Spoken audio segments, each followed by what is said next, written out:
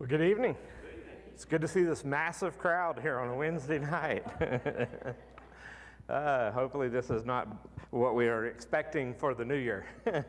uh, looking forward to seeing you there online. Also, glad to have you with us uh, there on Facebook, on YouTube, on Twitter. Be sure to heart, to like, to share, to follow, subscribe, retweet us there on uh, Twitter also, and uh, do all those things. if you comment more than just uh, that you're here, that helps also to get the word out there even more for your friends to know and for it to get the, the video out there before more eyes.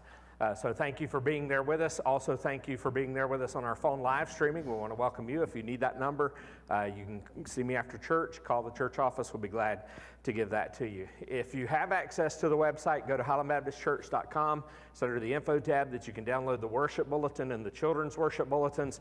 Be sure to uh, take the time to do that. Uh, if you need the worship bulletin, they're in the windowsills and at the doors uh, as you uh, come in uh, and as you leave tonight. And then don't forget under that info tab, especially for you at home, is the prayer list uh, for tonight. So be sure uh, to get that downloaded, uh, at least so you have a digital copy there so you can follow along with the prayer requests uh, as we go through that tonight. We have a few updates to give you uh, on those things. And then also don't forget that you can do your online giving there on our church website. go to highlandbaptistchurch.com, go to the far right hand side, click that Give Online tab easy platform to set up your regular giving as well as the Lottie Moon Christmas offering giving. Uh, we're getting closer to reaching that goal, so just want to encourage you to keep pressing forward as we're uh, all of that's going to support those missionaries uh, on the field and the ministries that they are doing. So, uh, want to encourage you to take the time to be praying about giving uh, towards supporting those missionaries, and also don't forget to be praying for them. Uh, so that's all that I have in the way of reminders of things uh, that we have going on. Uh, just in case you're at home and you're one of those in our choir, we do not have choir practice tonight, and we will not have choir practice next Wednesday night either. Uh, so we'll be back for choir practice on January the 10th, uh, as well as Awana will be back uh, then also. So, Brother Mike, come and lead us.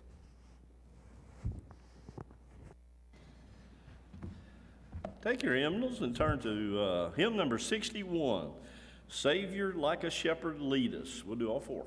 Pat.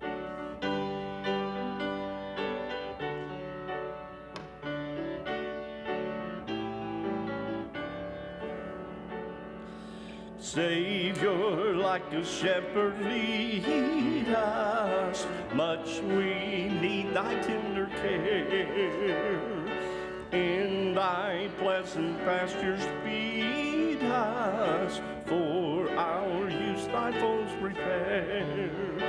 Blessed Jesus, blessed Jesus, thou hast bought us thine we are.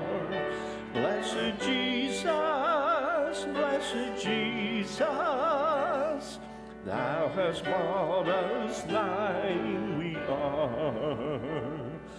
We are thine, do thou befriend us, be the guardian of our way.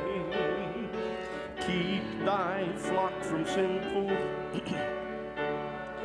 Seek us when we go astray. Blessed Jesus, blessed Jesus, hear, oh, hear us when we pray. Blessed Jesus, blessed Jesus, hear, oh, hear us when we pray. Thou hast promised to receive us, poor and sinful though we be. Thou hast mercy to relieve us, grace to cleanse and power to free.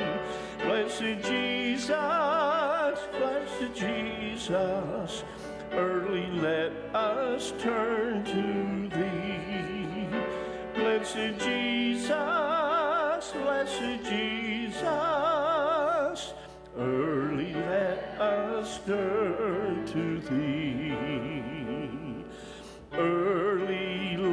seek thy favor. Early let us do thy will. blessed Lord and only Savior, with thy love our bellies fill. Blessed Jesus, blessed Jesus, thou hast loved us, love us still. Blessed Jesus, blessed Jesus, thou hast loved us, love us still. Thank you.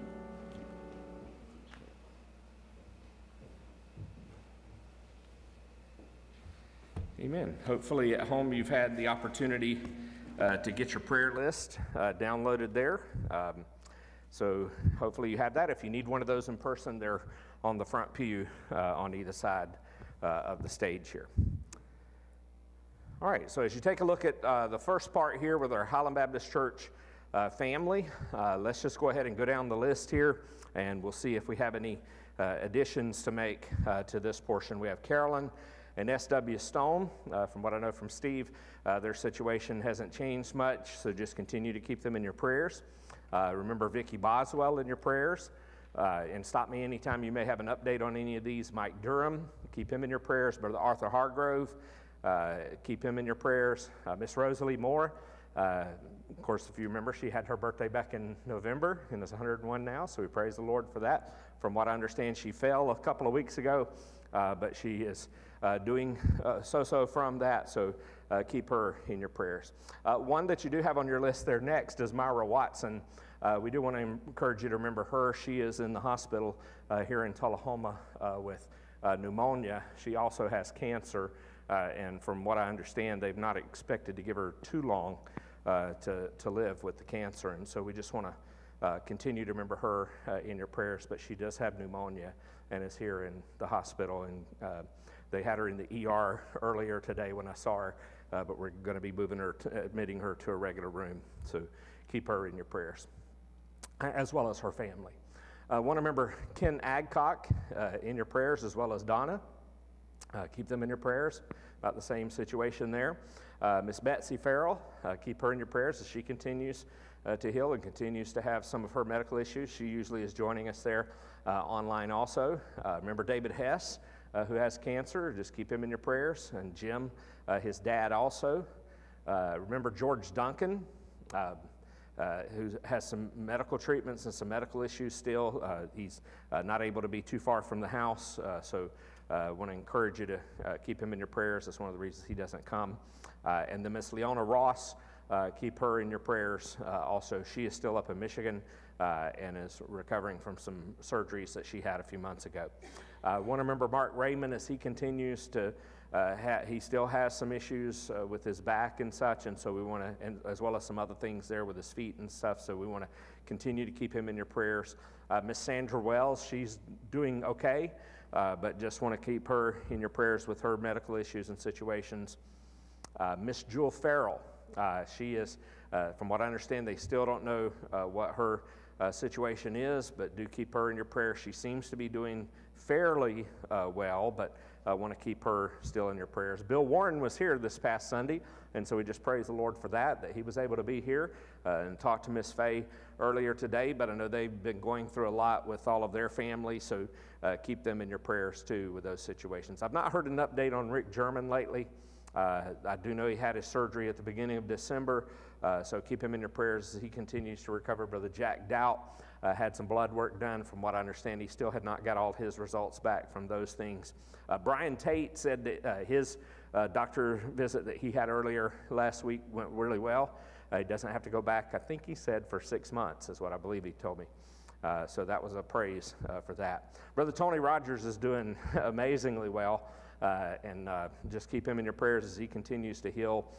Brother Jimmy Marlowe, want to keep him in your prayers as he had had some heart issues and then uh, Brother Robert Everett uh, will still be in uh, rehab for a while, so we want to keep him in your prayers. Miss Cindy Jordan still had some ongoing medical issues, and then Wade Hall uh, had a, um, they think it was a possible stroke uh, that caused him to lose the vision in his bad eye.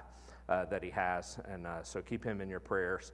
he is doing well as far as everything, but will not gain, they don't believe will ever regain that sight in his eye. So keep him and Suzanne and them in your prayers. Any other family, uh, HBC family side there that you know of?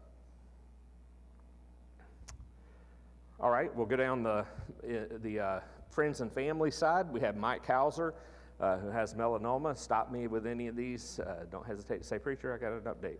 Um, and if you're there online, be sure uh, to share us an, an update uh, also. Um, I'll try to get over there to Facebook.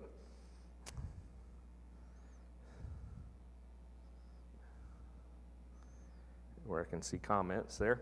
Uh, and then also uh, Katie Joe Bailey. I don't have an update on her, and I don't know anyone that's seen that update more recently on her. Uh, continue to remember Sarah Jernigan, who has some medical issues, as, and uh, that's um, Sherry Jernigan, who used to be one of our teachers with the CDC. That's her sister, uh, who was in a coma. Uh, remember Amanda Harris, who is Mark Smith's niece with breast cancer. Greg Renfro, who's waiting on a kidney transplant. Is the cousin of Belle Royton. Remember Hoyt Farrell. Uh, this is Brother Bobby Farrell's brother. Uh, he is up here now, and he is in um, uh, a facility over in Manchester. Uh, so we just praise the Lord uh, for that. But just keep him in your prayers as he is there. And then um, Buddy Saunders, who is Charles Saunders' brother. Uh, pray for him with his medical issues. And I have talked with Charles, and he said those, that situation is still ongoing.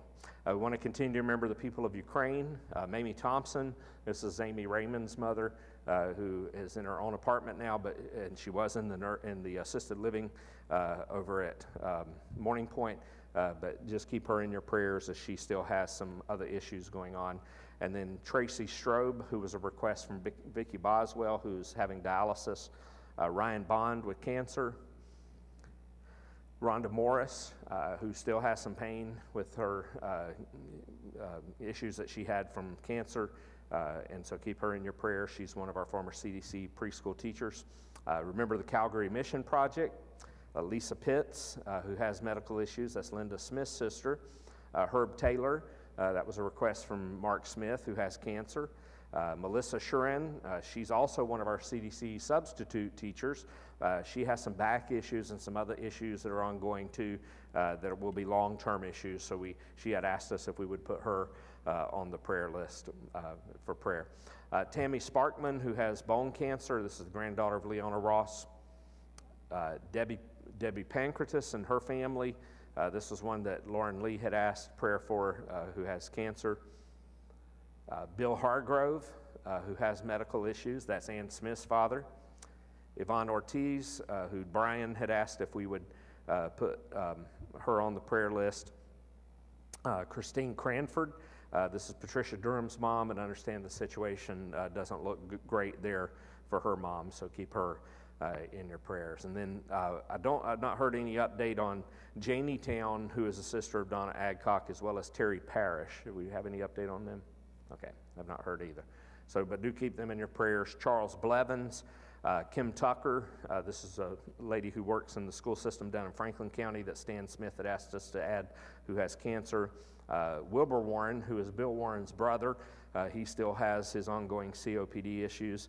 Uh, Charles Miller, uh, who is Matt Kohler's uncle, he still has some of his ongoing issues, although he's had his triple bypass as well as he, the kidney infection and UTI, so keep him in your prayers. And then Linda Ray, remember her with medical issues, as well as Doug Ray, who was recovering uh, from surgery. These just a couple of names uh, down below that. Remember Laura Hendricks? This is uh, the daughter of Becky Moffat. She is still doing her cancer treatments and uh, I think has about two more of those, uh, from what I understand, to continue with. So keep her. Uh, in your prayers. And then Sandy McKinney, who Judy Stockdale asked us to add, who has family medical issues. Andy Taylor, who is Nancy Ritchie's brother, who has cancer. Ricky Hereford, uh, who has radiation treatment, and that's still scheduled for the first after the first of the year. So keep him in your prayers. And this one was Jimmy had asked us that one. And then the next two are some friends of ours. Uh, when Samantha's had to go to Charlotte for her uh, scans on her aneurysms and stuff, this was a couple we knew we had met from Mount or met in Mountain City. They are from Charlotte, uh, and they had a cabin there in Mountain City. Would come to church there. Uh, his wife had developed dementia uh, a few years back And so uh, we've been praying for her, but he just recently, just a couple of days ago, found out he has colon cancer and is in the hospital in Charlotte. Um, and he had uh, asked his son, uh, first person he said he wanted to call was to call us to let us know. So um, we wanted to uplift him in prayer. His name is Bill Goff and Kay Goff, uh, both of those, to remember those in prayer. Uh, he's been taking care of her, and it's killing him that he's in the hospital, not able to take care of his wife uh, to be there to be a caregiver for her through her situations. Any other friends or family we need to add, or any other updates? Yeah, well, friends of ours from First Baptist Church, Colonel Jim Johnson, he passed away, and his funeral's next week. He's my brother, actually, my brother's wife's dad. I mean, so it's Colonel Jim Johnson, so remember, remember the family. They're, he passed away last night, yesterday evening. Okay. So the request there is for Colonel Jim Johnson. He passed away uh, yesterday, and just want to remember his family uh, in prayer as they're going through that difficult time, and especially here uh, at the holidays. It's hard any time you lose a loved one, but it seems to be especially harder when it's around uh, the holidays. So keep keep Jim John, Colonel Jim Johnson's family uh, in your prayers. Any others to add to the friends and family side? All right, on the nursing home assisted living list, uh, if you'll remember Mary Campbell, who's at NHC, Peggy Eggleston at Life Care, Susie Barton at NHC, uh, Bertie Davis at Brookdale, uh, Miss Janet Carter, who's at MacArthur Manor, uh, Floyd Prince and Sue Prince, who are at Morning Point, and then Beverly Daniel, who, are, who is at Manchester Rehab. So keep all of those uh, in your prayers. Any others, any other updates before we go to the Lord in prayer? I don't see any on our prayer list there.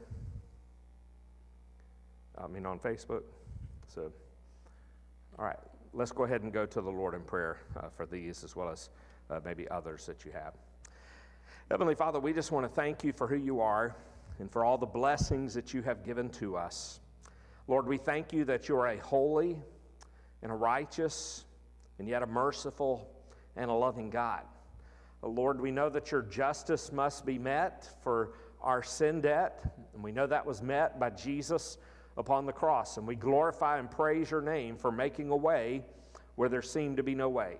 Father, we come before you tonight because we don't want anything to hinder our prayers. So we begin, Lord, acknowledging who you are and your holiness and your righteousness. And in, in, in looking at ourselves in comparison to you, uh, Lord, we are not good. There is none that is good, no, not one.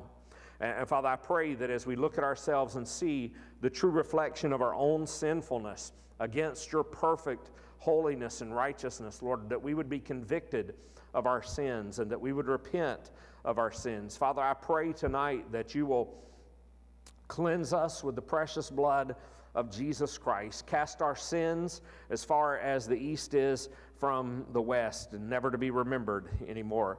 Lord, we pray that you would uh, just uh, hear our prayers, especially our prayers on behalf of each one of these uh, that we have on our prayer list that we've went, went through the names tonight of those we've updated. Maybe there are other requests that we didn't get added to the list tonight that are, uh, that are just now coming to our heart or our mind. Lord, I pray uh, that you would be with each one of those individuals. Father, you know their situations. Uh, you are more than capable and able to take care of each one of these and many, many millions more uh, that are being uplifted in prayer all around this world. And so, Lord, we just want to uplift all of these, asking, Lord, for you to divinely intervene in their lives. We pray, God, that you will uh, bring healing where healing is needed. Uh, Father, if there are other needs that are there, we pray that you'll pour out your grace and your mercy to meet the needs of each one of these people. Lord, we know they're, they're caregivers of each one of these individuals, and sometimes, uh, many times, Lord, they are struggling uh, also as they're seeking to to just continue to love on their loved one and to minister to them, and sometimes not even knowing how to do that with those that uh, have dementia and Alzheimer's and all kinds of other uh, mental issues. And so, Father, I pray that uh, you will just give those individuals uh, peace in their hearts to know that you're with them, give them direction, and uh, just to take things one day at a time, one moment at a time uh, seeking to bring glory and honor to you, and, and then to do that again the next day and the next day. Father, I pray that you'll give them the strength to keep pressing forward. Uh, not looking uh, back to the past, Lord, but uh, knowing that you are with them right now in this moment and that you are working about bringing about good for them and their loved ones, and you're working about bringing glory to your name, even through the most difficult of situations that people are going through. Lord, we want to pray for those uh, who, especially maybe on this list, or maybe others who are on our hearts who don't know Jesus as their Lord and their Savior. Lord, I pray that the things of, of the holidays here that we've been celebrating and sharing with others, uh, whether that was through the Christmas parade of sharing the, the gospel tracts there, or whether it was through uh, the, the Christmas tree um, that was set up at the South Jackson Center, Lord, or maybe it was the Christmas program itself, or maybe some message or sermon that people joined online to see or hear, or, or maybe it was the Christmas cantata that, that touched people's hearts. Lord, I pray that those seeds that have been planted in people's hearts would stir them, Lord, to uh, come to the realization of their need for Jesus as their Savior. Father, I pray that you will continue to water those seeds that have been planted in, in many thousands of people's lives, especially uh, over these last few months. Uh, Father, I pray that you will just continue to help us to grow uh, your kingdom through Highland Baptist here. And Father, we just pray for your hand to be upon us in a special way, Lord, to use us in whatever way that you would, to minister to the people uh, who are on this prayer list, to encourage them, to walk alongside them, uh, or whether it's other individuals, Lord, that we know that you would use all of those things, and especially here at this time of year, to stir their hearts to faith in Christ. And Lord, for those who, who do know Christ already, I pray that you would lay a burden that they could not bear upon their hearts uh, to share the good news of the gospel with somebody, some way, somehow uh, as especially as we come to the end of this year, before this year ends, and then beginning a new year, making that commitment, Lord, to be faithful to share the good news of the gospel. And I pray, God, that we'll go forth into this new year uh, doing all that you would have us to do, bringing glory to your name, making the name of Jesus uh, known to the people around us. Uh, Father, we thank you for our missionaries who have answered the call to go and to serve. And Lord, I pray that you would burden our hearts also about giving uh, to support those missionaries so that they can stay on the field and continue uh, to, to minister through the, diff- the various ministries uh, that they are doing and, and sharing with people there of the good news. Father, I pray that you would have your hand upon all of our international missionaries, especially as we emphasize them during this time of year. Uh, Father, I pray that you will just place a hedge of protection about each one. Uh, Lord, that you will uh, burden, the, burden them, Lord, uh, with uh, that continued call upon their lives to keep pressing forward when things even get difficult where they are, to remain steadfast in their faith with you. And Father, I just pray that you will call new laborers into the harvest, whether that's on the mission field or whether that's here in our local church. Father, I pray that you will send more laborers into the harvest. Lord, we pray for our youth who are meeting with us uh, tonight also in another part of our building. We pray, God, that you would just uh, stir their hearts, Lord, to have a passion uh, for Jesus in, in, their lives, Lord, to study your word, to know you more fully, and that as they know you more fully and the Holy Spirit dwells within them, Lord, that you would just use them as a radiant light of, of the gospel of Jesus Christ in their school, uh, maybe at their workplace, if they're working in their homes, Lord. I pray, God, that you would use them to share the good news of the gospel and be with our Awana kids uh, and their families as we're apart from them for the Christmas and New Year's uh, holiday here, Lord. I pray that uh, you will help them not to forget the things that have been instilled within them over these last few months of, of Awana, uh, with the scriptures that have been hidden in their hearts. Father, that you would recall those things to their heart and mind to, to uh, be faithful, Lord, to uh, follow you and to let your word uh, transform and change their heart and change their minds. And Father, I pray that you'll guard them and protect them, keep them all, Lord, uh, in good health uh, during this time uh, that they're apart from us. Lord, and we pray that you will uh, just continue to be with us, especially tonight as we come once again uh, to the book of Zechariah. May, may you make your word powerful, alive, sharper than any two edged sword, help us to understand it. Uh, not only to understand the knowledge uh, and the wisdom of the, of the verses themselves, but how we might apply it to our lives. And so, Father, I pray that you would use it to encourage us, uh, especially as we come uh, to the close of this new year, uh, and even as we know that we're coming closer and closer to the coming of our Lord and Savior, Jesus Christ, uh, to reign upon this earth as the King of Kings and Lord of Lords. So, Father, we pray that your word will come forth tonight uh, and not return void. And we pray, God, that you will use it to change our lives. In Jesus' precious name we pray. Amen and amen. Take your Bibles, if you will, then, and turn to Zechariah chapter 10. Uh, we're getting closer to the book, end of the book of Zechariah. Uh, and at the end of the Old Testament here, especially as we're looking at these minor prophets, this is uh, the next to the last of the minor prophets that we have uh, come to examine and to look at and to see how this, does this word apply to us. As we've been looking at Zechariah, uh, we've seen that uh, he has been, Zechariah has been sharing uh, through God the, the message here of the coming of the Messiah, uh, that even though the enemy has oppressed them and even gone farther than what God intended for them to do in hurting his people, God is exacting his judgment on Israel's enemies in chapter 9. Uh, he talks about the coming of the King of Zion, which is Jesus Christ. Not only his first coming, but ultimately in those last verses there uh, of chapter 9, he's talking about the return of Jesus Christ the second time, his second coming. And so we continue with that same emphasis as we come into chapter 10. So let's read verse 1 and verse 2 of chapter 10 first, and then we will uh, get into the rest of the verses here uh, in just a moment. So he says in beginning in verse 1 Ask rain from the Lord in the season of the spring rain from the Lord who makes the storm clouds, and he will give them showers of rain to everyone the vegetation in the field. For the household gods utter nonsense, and the diviners see lies.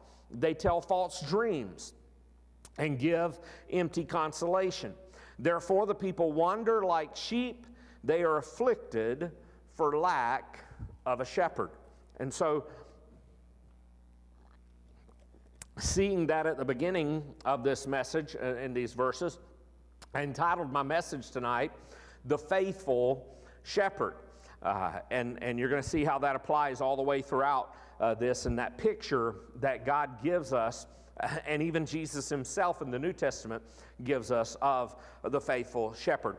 Uh, when I was a youth minister, one of the things that we did sometimes as kind of an object lesson, a game, uh, with the kids that we had them do from time to time was to have all the students to hold hands and, to form a circle.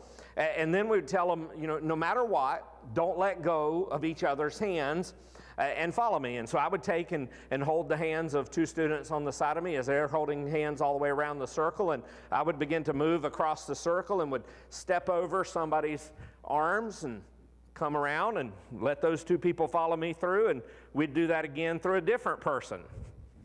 Till we're making this circle of a, a big tied knot here. And so you'd step over and over, different pairs. They're struggling to keep up with their hands uh, together. It, it, took less than a minute to get the whole group uh, tangled up in one big mess.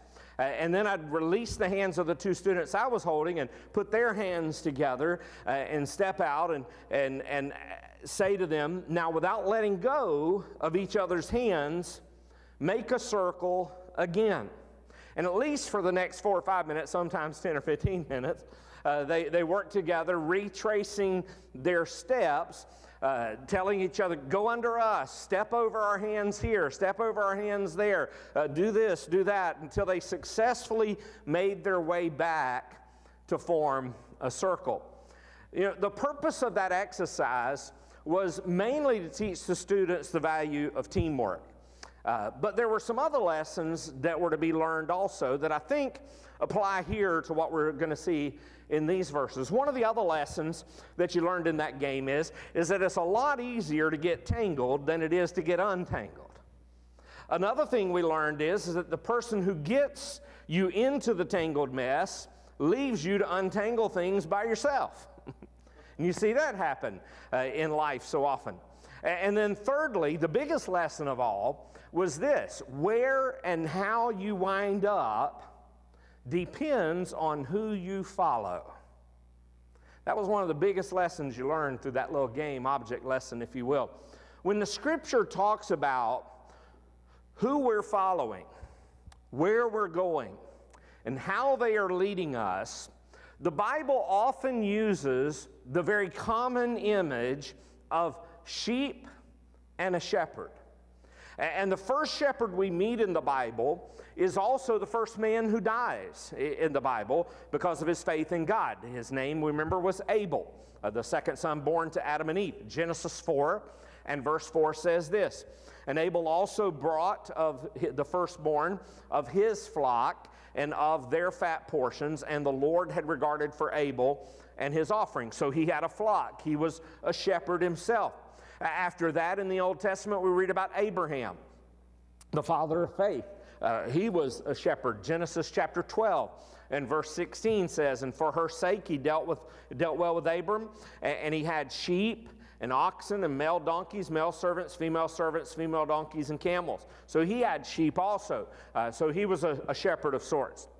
His grandson, Jacob had a whole episode that, that evolves and comes about by him being a shepherd. In fact, uh, his name later becomes Israel. Uh, he was also a shepherd. Genesis 30, verse 31 says, He said, What shall I give you?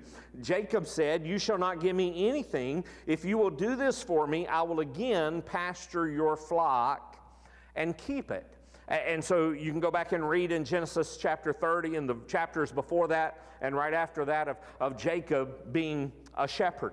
Uh, you read about Moses in the Old Testament, the, who's the great lawgiver. Uh, he was rescued from a basket by Pharaoh's daughter, raised and raised up in Pharaoh's household as, as a ruler there. He was a, also, though, a leader of Israel.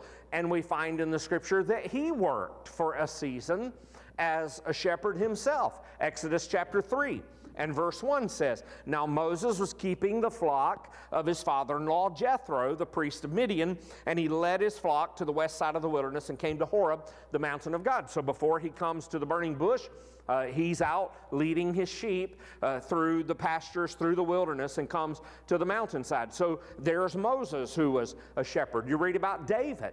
The great King David. David uh, shepherded the sheep in the field before he became a king and before he became shepherd over all of Israel. 1 Samuel chapter 16, verse 18 and verse 19 said that one of the young men answered and said, Behold, I have seen a son of Jesse, the Bethlehemite. This is speaking to King Saul uh, when he couldn't get his spirit calmed and everything. And, and this man said, I've seen a son of Jesse, the Bethlehemite, who is skillful in playing, a man of valor, a man of war, prudent in speech, a man of good presence, and the Lord is with with him. Then Saul sent messengers to Jesse and said, Send me David your son, who is with the sheep.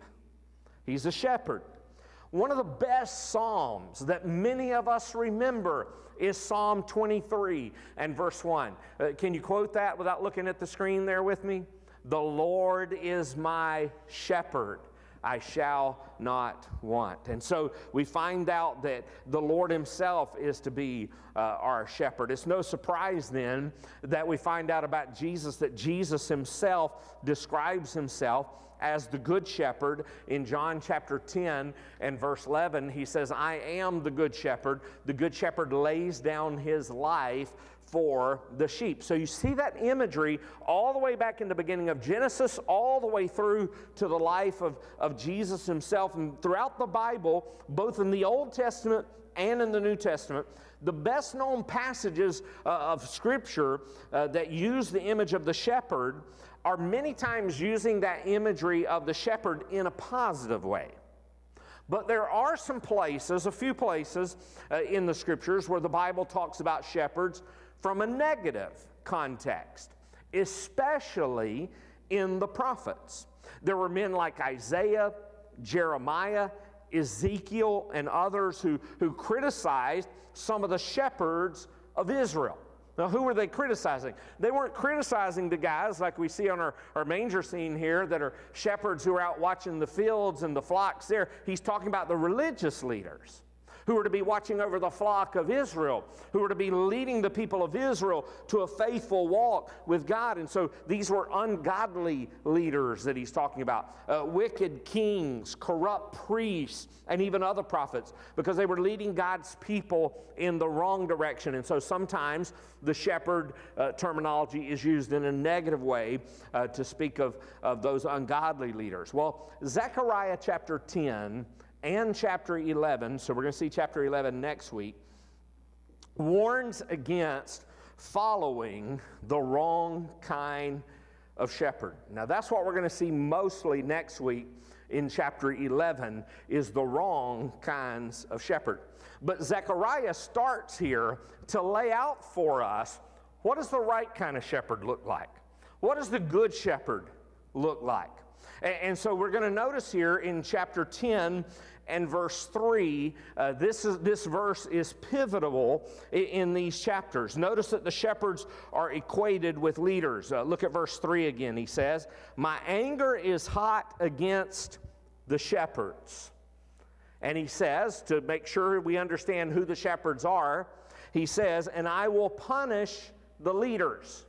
Those are who the shepherds are that he's talking about. For the Lord of hosts cares for his flock the house of Judah, and will make them like his majestic steed in battle. So God is angry with these leaders. He promises to punish them because he says, I care for my flock. I care for the people of Judah. And you, as the religious leaders, are to be representing me. And if you're not representing me by taking care of my people, you're being like an unworthy, an ungodly shepherd. And so, where God's people winded up depended on the type of leader or the type of shepherd that they followed. And so, Zechariah 10 through 11 are going to give us four pieces of evidence to prove this truth. The very first one is found there in verse 1 down to verse 12. And this, in fact, this entire chapter is the work of the faithful shepherd. And so, verse 1 of this chapter, as we've already read there, is kind of a transition that bridges the promise of, of health and the welfare of God's people at the end of chapter 9 with the rest uh, of the book. And so, when Zechariah says to ask the Lord for rain in verse 1, uh, then, then that could be seen as a rebuke to those in Judah who were looking to the false gods, who were looking to Baal to provide favorable weather uh, for the land. And so, after reminding the people that it's the Lord who makes the rain clouds, that's what he goes on to say. Uh, he says, Ask rain from the Lord. Don't go to these false gods. Don't go to these false idols that you've been going to all this time. Ask rain from the Lord in the season of the spring rain, from the Lord who makes the clouds, and He will give them showers of rain to everyone, the vegetation uh, in the field. and so uh, here we see that uh, he's talking about the, the Lord makes the rain clouds. It's the Lord who provides the showers of rain and crops in the field for everyone. And so then Zechariah begins to contrast the work of the Messiah as Israel's faithful shepherd with the misleading work of the false shepherds who follow idols. So, verse 2 says, For the household gods, they utter nonsense. Uh, the diviners, they, they see lies. They tell false dreams. They give empty consolation. In other words, they're telling you the, the farthest thing from what my word tells you. In fact, the word we get here in, in the English Standard Version is that they're, they're telling false dreams. Uh, that's the Hebrew word hawan, which means vain or worthless uh, assurances and, and, comfort that is empty, that is meaningless. So it's like uh, somebody's going through suffering, somebody's going through pain, and you're off, trying to offer them comfort, uh, and, and, your words are just empty. It's meaningless. It does no good for, for those individuals. And that's what he's saying that these, these false uh, prophets are doing. Uh, they're, they're offering, these diviners are doing. They're giving false dreams that don't bring any consolation it's empty consolation. And so he says that the idols themselves are speechless and powerless. Now, Jeremiah had said in Jeremiah chapter 10 and verse 5 about their idols, he said, Their idols are like scarecrows in a cucumber field and they cannot speak. What a picture. To give there of a scarecrow out in a cucumber field. And he says, The scarecrow can't do anything. You ever seen a scarecrow talk? Maybe on The Wizard of Oz, and that's about it, and that's make believe there. You never see a scarecrow talk out there to, to scare the crows away, to scare the enemy away. He says, Their idols are like scarecrows in a cucumber field, and they cannot speak. And he's saying that's like these diviners, these soothsayers who are serving these idols by seeking omens and signs, and, and they speak lies on their behalf. It's as if uh, they're, they're speechless themselves. They're deceiving Israel, the very people that they were entrusted to care for and to guide. Understand this that we as a church, have an awesome, huge responsibility for those who are already of the faith. I mean, think about it. Those of you who are here tonight, those of you who are watching online, how long have you been a Christian? I dare say most of us have been a Christian for a long time. Are, we investing into the next generation? To make sure that they understand the truths of God's word? Or are we telling them empty things? Or are we telling them nothing at all, like a scarecrow in a cucumber field that can't even speak? They're relating these empty dreams, they're relating empty comfort, and as a result, the people are being led astray, left to wander like sheep and to suffer affliction, experiencing catastrophe after catastrophe because there's no faithful shepherd for them to follow. One of the greatest responsibilities we have is to disciple believers.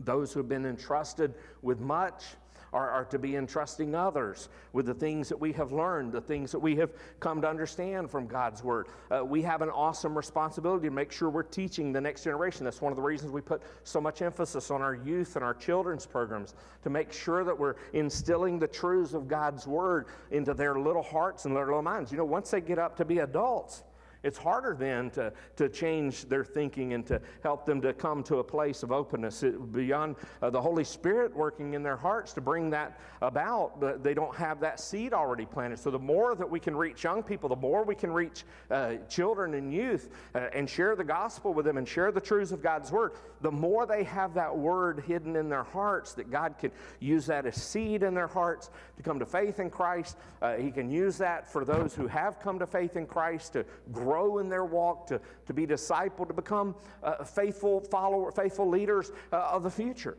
And, and so others will follow them faithfully uh, as they emulate Christ in their lives. So as we come down to verse 3, uh, following his declaration of anger at these false shepherds, notice what he says in verse 3. He says, My anger is hot against the shepherds and I will punish the leaders, for the Lord of, Lord of hosts cares for his flock, the house of Judah, and will make them like his majestic steed in battle.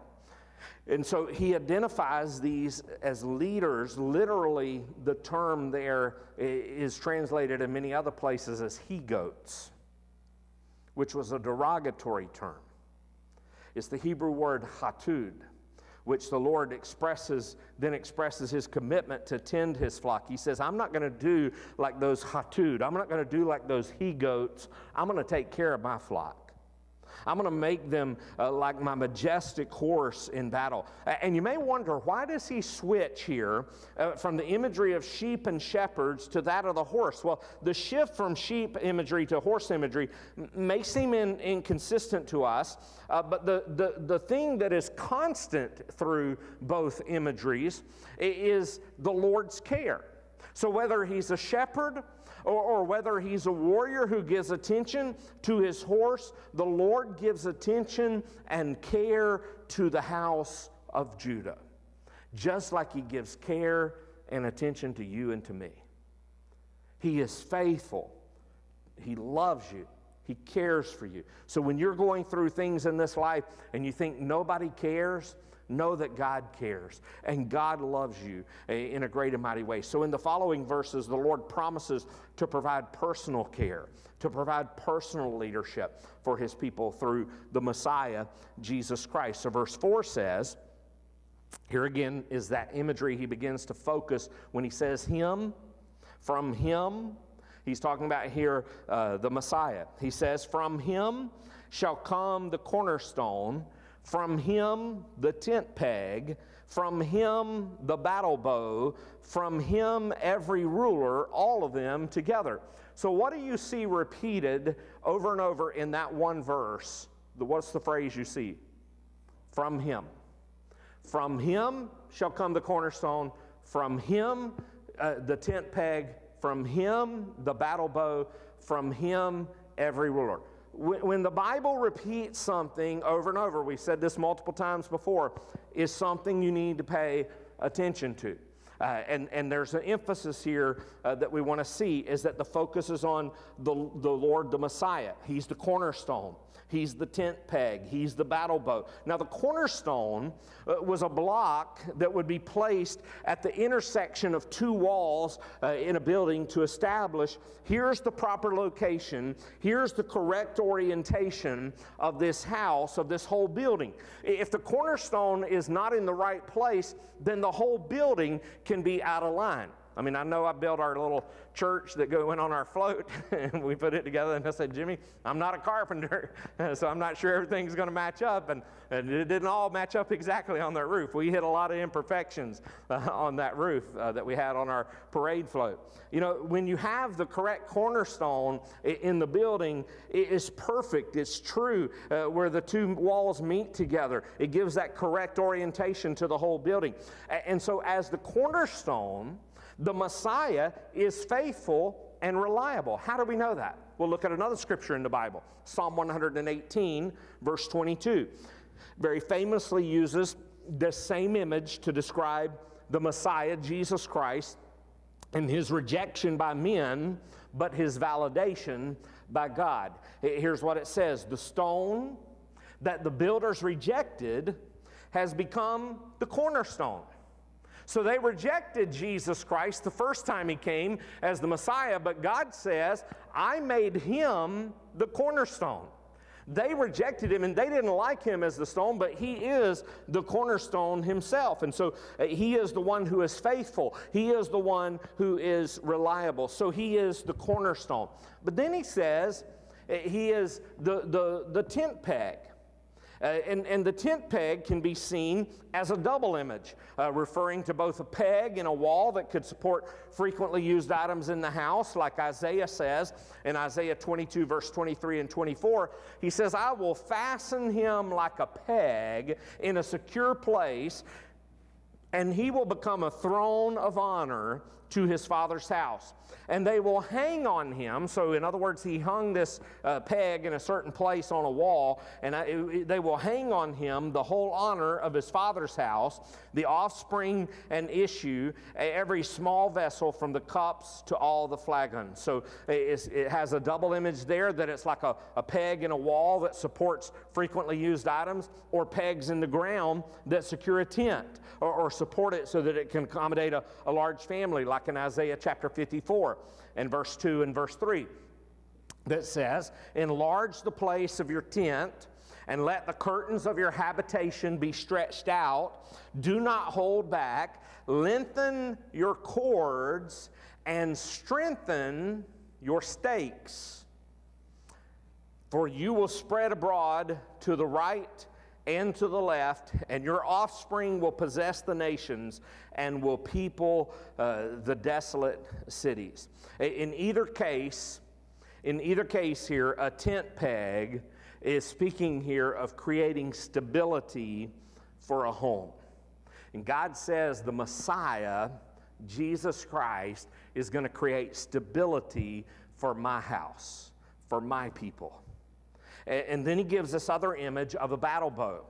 The battle bow describes the Lord's fearlessness, his conquering power. And as a result uh, of the Messiah's strength and stability, verse 5 promises that he will cause his people to fight like warriors in battle. So he gives those imageries there in verse 4.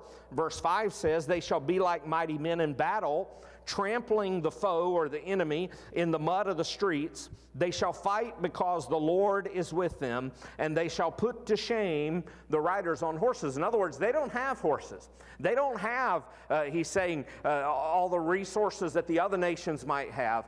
Uh, but he's saying here uh, that I'm going to use my people to put horsemen to shame and triumph over their enemies. And then we come down to verse 6 through the end of the chapter in verse 12, and he describes what is God going to do? What am I going to do in Israel under the faithful leadership of the Messiah? So, in these verses, in these uh, verse 6 down to verse 12, there are 21 uh, predictive statements in these verses. Several of these, uh, which focus on the Lord's personal actions on behalf of the people. Uh, for example, the declaration, I will strengthen the house of Judah and I will save the house of Joseph. In fact, that's what he goes on to say uh, in verse 6. That not only assures God's power uh, to his people, but it also emphasizes, I'm going to do it for you. I'm going to unite the southern kingdom of Judah and the northern kingdom of Israel, represented by the house of Joseph. And so he says in verse 6 I will strengthen the house of Judah and I will save the house of Joseph. Speaking of northern and southern kingdoms, I will bring them back because I have compassion on them, and they shall be as though I had not rejected them, for I am the Lord their God, and I will answer them. So when he says, I'll bring them back, that means to restore them. Well, what they're needing is a spiritual revival. They are needing a restoration spiritually. He says, Because I have compassion on them. and so he's emphasizing here his care and his provision for his flock. Who does he say will answer them? Not these worthless gods over here and these other idols and these false prophets. He says, I will answer them. So when he says, I will answer them, He's speaking to say, I will be near to my people. Uh, I will be responsive to their needs. And all of that is going to result in their strength in the battle and their renewed joy, as verse 7 goes on to say. He says, Then Ephraim shall become like a mighty warrior, and their hearts shall be glad as with wine. Their children shall see it and be glad. Their hearts shall rejoice in the Lord. Who shall see it? Their children. Did you know little eyes are watching you all the time? If you're here as a believer, you're at home there as a believer, little eyes are watching you all the time. Your children, your children's children, your family's children, they're watching you. They hear you say, I'm a follower of Jesus Christ, I'm a Christian. But do they see that in your life? Do they see that in your actions? Do they hear that in your words and the way you speak to others and the things you do to others? Or do they see something else? He says here, when these are strengthened by the hand of God, when they are restored by God Himself, He says, then they will become like a mighty warrior. Then their hearts will be glad, and their children shall see it. And their children will be glad, and their hearts shall rejoice in the Lord. What a picture and an image there. Now, this is a, a very prominent shepherd imagery that we go to now in verse 8 that he says, I will whistle for them.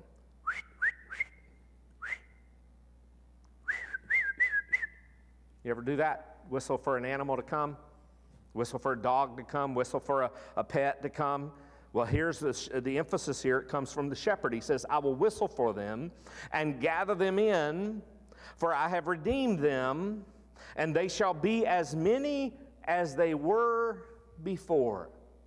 So he says, I'm going to whistle for them, I'm going to gather them. Now, the whistle was a sharp, clear signal that shepherds, I can't do that, where you stick your fingers and your, lip, and your lips there and make that real loud whistle. I can't do that. But there are individuals who can do that.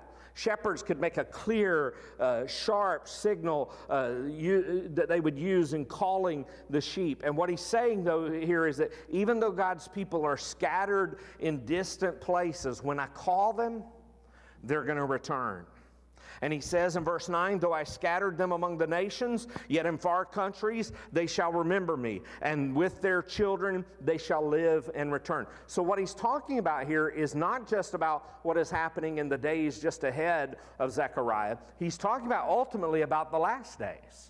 He's talking about there's going to be a day when, when all my people are going to be scattered uh, all over this world in many different places. But one day I'm going to call my people and they are going to return. In fact, when you read the book of Revelation, when you read Ezekiel, when you read Daniel, you read the, prophet, the prophetical books of the last days, you see that over and over and over of God's people coming back to the Holy Land, coming back to the promised land.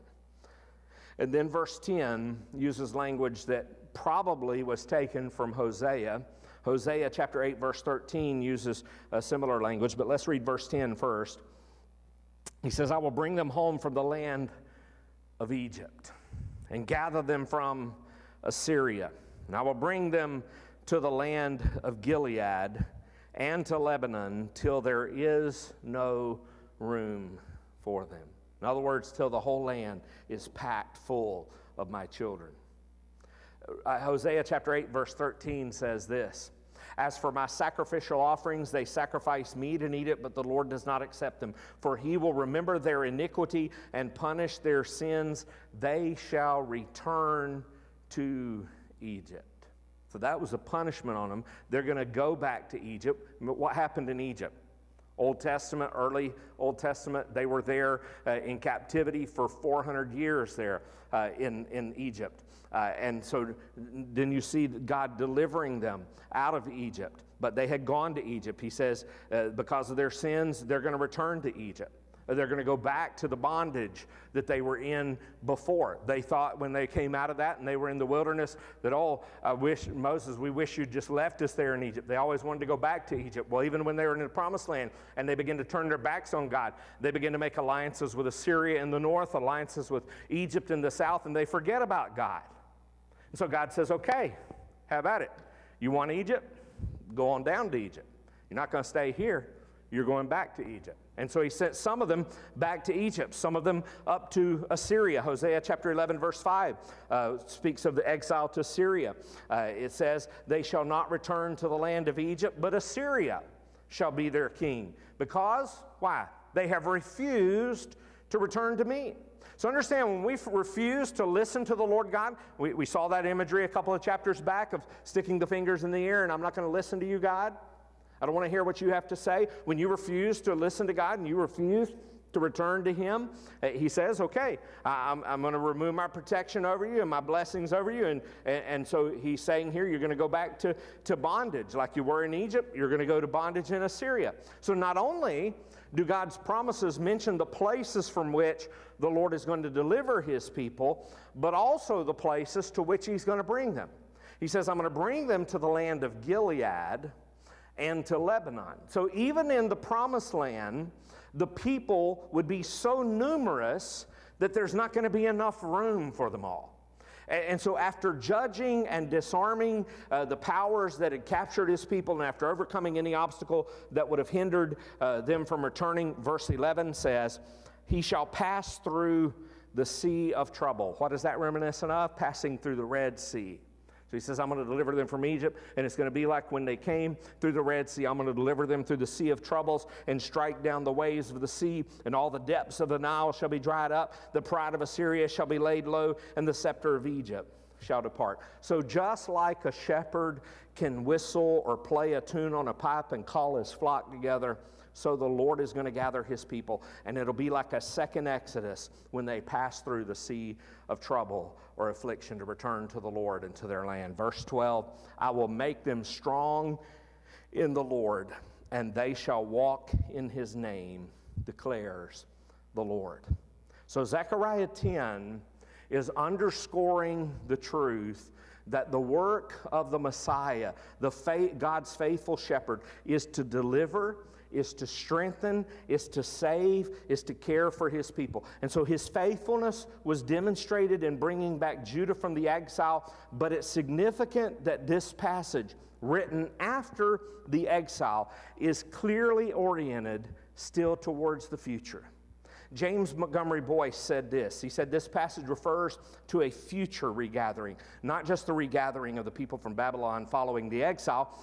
That was already history at the time of the writing of this chapter. He says, The prophecy must concern a yet future day. The regathering may have begun with the reestablishing of the modern state of Israel. This will be a great regathering, he says, though, in which the scattered flock of the Messiah is returned to its own land and to great material and spiritual blessing. What a day of victory that will be. God's people, Israel, are going to be regathered, redeemed, reunited as one nation, rejoicing in the strength of the Lord. What a day that will be. But that same God can give that same blessing to his church today. We are a scattered people, divided and sometimes distant even from each other. But the Lord can unite us in Christ and bring us together. You know, we're fighting battles uh, against the enemy, but the Lord can strengthen us. The Lord can turn his helpless sheep into victorious war, horse, war horses. How much he is willing to do for us, if only we would admit our failures, admit our unbelief, and turn to Him for help. That reminds me of this old song. There is coming a day when no heartache shall come, no more clouds in the sky, no more tears to dim the eye. All is peace forevermore on that happy golden shore. What a day, glorious day that will be.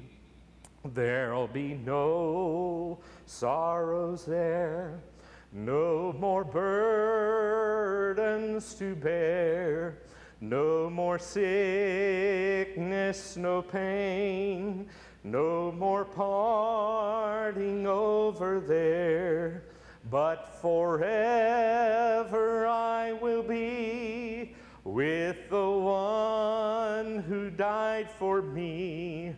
What a day, glorious day that will be.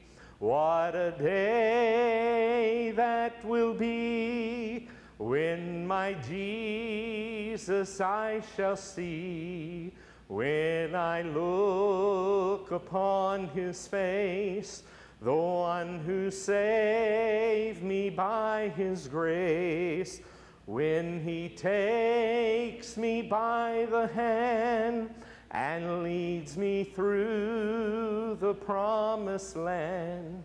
What a day! Glorious day that will be when we follow the faithful shepherd. He and He alone will lead us safely home. Let's pray. Heavenly Father, thank you for sending us the faithful shepherd, Jesus Christ. And the work is not finished yet, Lord. The work is not finished until the trumpet sounds and Jesus returns again to set up his kingdom here upon this earth until we draw our last dying breath. Lord, help us to hear the call of the shepherd, the great shepherd, on our lives. First, the call to salvation, to become his sheep, to become his child of God by trusting in Jesus as our Lord and our Savior. And then to hear His call daily, uh, following the shepherd as He leads us uh, down the paths of righteousness for His name's sake, helping us not to make uh, wrong decisions, to not turn to the right or to the left, but to keep on following His word, His will, His way. Father, I pray tonight that we would follow the shepherd each and every step of each and every day, Lord, that one day, what a glorious day that will be when our Jesus we will see. The one who took us by the hand and led us through the promised land. Lord, may we follow you each and every day, the faithful shepherd. In Jesus' name we pray. Amen. Well, thank you so much for joining with us there, especially online. Uh, come back and join us Sunday in person if you can. Uh, we will be having regular service uh, this coming Sunday morning. Uh, we'll have regular Sunday school, regular church on Sunday morning. Sunday night, we will not have service uh, because we have New Year's Day the next day, so we won't have uh, service Sunday night. But come and join us for Sunday morning. Uh, come for Sunday school at 9:15, worship at 10:30. Uh, you can join us there online if you can't join us in person. We know a lot of people are sick with different things at this time of year, so uh, you take care of yourself, get better, uh, keep trusting the Lord, keep following Him. But you have a blessed week, a safe week. We'll see you this coming Sunday.